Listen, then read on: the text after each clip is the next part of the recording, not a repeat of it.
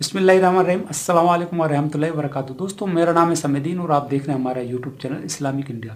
दोस्तों, आज हम आपको बताएँगे कुछ नबी करीम सल्लल्लाहु अलैहि वसल्लम की प्यारी प्यारी बातें, जिनको सुनकर आपको बहुत अच्छा लगेगा और आप इन बातों पर अमल करेंगे तो आपको बहुत ज़्यादा सवाब मिलेगा। तो दोस्तों, आइए शुरू करते हैं वीडियो।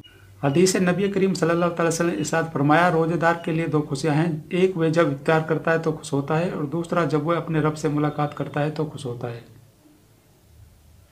दूसरा रसूलुल्लाह सल्लल्लाहु ने साथ फरमाया, जो शख्स मुअज्जिन की अजान सुने और यह कलिमात कहे, असवद वल्ला इलाहा व असवद मोहम्मद अब्दू व रसूलु रदीदुत बिल्लाहि रब्बहु व बी मोहम्मदिन रसूल व बिल इस्लामी दीना। तो उसके तमाम गुनाह मुआफ़ हो जाते हैं।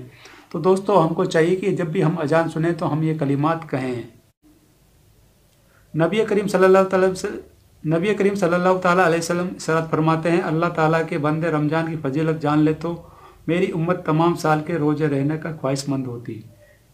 रसूलुल्लाह सल्लल्लाहु अलैहि वसल्लम ने इरशाद फरमाया, बेहतरीन बीवी वो है जब शोहर से देखे तो खुश हो जाए और जब शोहर किसी बात का हुक्म करे तो उसकी इबादत फरमावरदारी करे।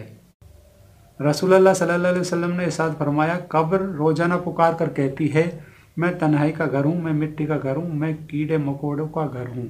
तो दोस्तों, हमको चाहिए कि हम आखिरत के लिए ज़्यादा से ज़्यादा तैयारी करें और नेक काम करें और नेकियाँ कमाएँ। रसूलुल्लाह सल्लल्लाहु अलैहि वसल्लम ने साथ फरमाया, किसी मुसलमान भाई से एक साल बात न करना, उसको कत्ल करने के बराबर है। और हमारे नबी करीम सल्लल्लाहु अलैहि वसल्लम फरमाते हैं कि वज़ू की पाबंदी कामिल मोमिन करता है। तो दोस्तों, हमको चाहिए कि हम इन बातों पर ज़्यादा से ज़्यादा अमल करने की कोशिश करें। दोस्तों, आपको ये वीडियो पसंद आए तो इसे लाइक करें शेयर करें और चैनल पर पहली बार आए तो चैनल को सब्सक्राइब करना ना भूलें। मिलते हैं फिर किसी नई वीडियो में। तब तक के लिए खुदा हाफिज़।